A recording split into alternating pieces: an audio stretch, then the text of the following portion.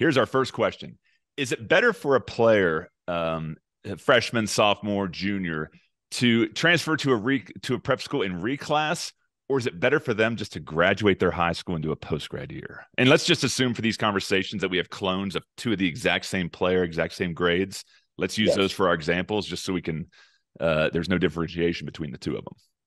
Well, I'd say that the big differentiation for me is, you know, oftentimes you come to New England boarding schools, whether you're an athlete or a traditional student, so to speak, when you come from a different area, maybe a public school, they're going to want you to reclassify academically anyway to make sure that you can handle the rigors of a New England boarding school education. So for underclassmen, 9th, 10th, 11th, the reclass is probably going to be mentioned to you from the admissions office, not only the, the coaching standpoint. Um, if someone is underdeveloped physically uh, or a very young ninth grader, like my daughter, she's a 10th grader, but she really should be a ninth grader um, I would always suggest that, you know, to give yourself time. When someone reaches their senior year, I think it's problematic when someone goes their senior and they say, I want to reclassify and come to and come to school. I say, well, why don't you just graduate?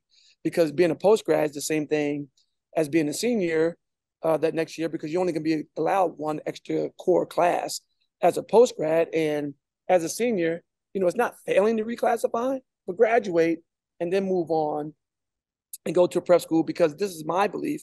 I'm not sure of other coaches.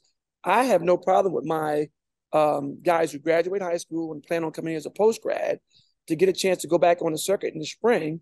If they have an opportunity and still get a college scholarship, now you don't have to worry about, why I didn't graduate and all the paperwork and finishing in high school because you're reclass. You've already graduated. You can move on to college if you're fortunate to get something late. So my belief is underclassmen, it's usually a good idea um, to reclassify if you're coming to a New England type boarding school so that you can take make that adjustment from the academic standpoint. And then obviously from the level of play, um, it also helps as well. Seniors, I say graduate, do a post grad year.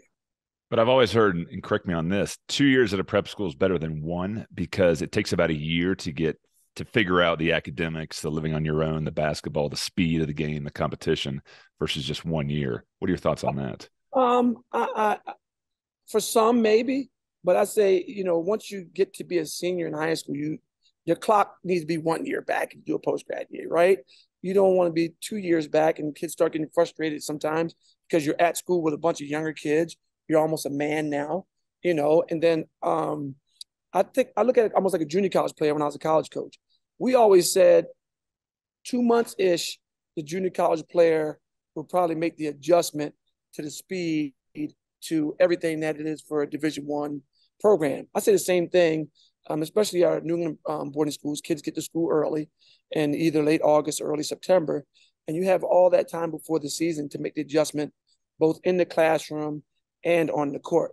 Now, someone who's physically, um, you know, they're delayed, you know, they're 6'8", 160 pounds, maybe it's a good idea to reclassify a senior and come do two years at prep school.